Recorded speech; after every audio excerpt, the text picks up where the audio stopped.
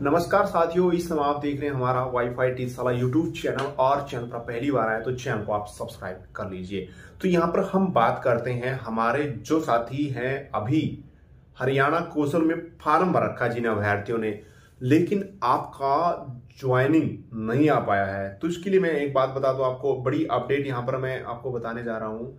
एक तो बहुत बड़ी गलती है वो पकड़ी गई यहाँ पर। यानी कि आपकी जो कमी है, क्या आपकी कमी रही होगी, वो पकड़ में आई है। तो आप भी फटाफट से देख लीजिए, अगर आपको भी ऐसा लग रहा है तो अपना एप्लीकेशन फॉर्म खोल के देखना है और आपने जो एक्सपीरियंस लगा रखा है, बहुत सी भाइयों ने एक्सपीरियंस लगा रखा है गवर्नमेंट डिपार्टमेंट का, किसी ने अप्रेंटिस का लगा रखा है, किसी ने कुछ लगा रखा है तो फिर भी आपका नहीं आ पा रहा है ऑफ़र लेटर नहीं आ रहा है शॉर्ट लिस्ट नहीं हो पा रहे हो आप तो बार बार आपके फ़ोन पे मैसेज आ रहे हैं कि अपना एक्सपीरियंस चेक कर लीजिए, क्या दिक्कत है इसके अंदर, आ रहे हैं ना, हिंदी में भी इंग्लिश में भी तो आ रहे हैं।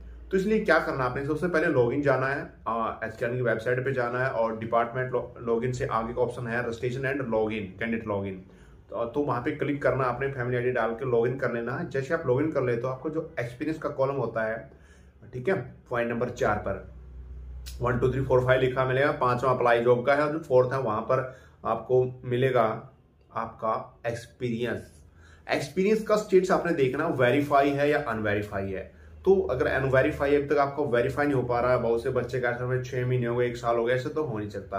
पहली बात तो जो जिस डिपार्टमेंट आपने जॉब की है, उस डिपार्टमेंट जाइए कि, सर, हमारा ये ऐसे ऐसा एक्सपीरियंस आया हुआ इसको वेरिफिकेशन कर दीजिए यस या नो एक्सेप्ट करो या रिजेक्ट करो? अगर वहाँ वो बोलेगे, आपके, आपका हमारे पास तो आया ही नहीं है तो फिर आपने क्या करना है? दोबारा से आपने रीओपन की रिक्वेस्ट डालनी है। रीओपन की रिक्वेस्ट डालते आपका फॉर्म उस टाइम ओपन हो जाएगा या अगले दिन हो जाएगा। अब तो उसी दिन हो जाता साथ में। जैसे आपने अभी रीओपन कर दिया, तभी ओपन हो जाएगा। ठीक है?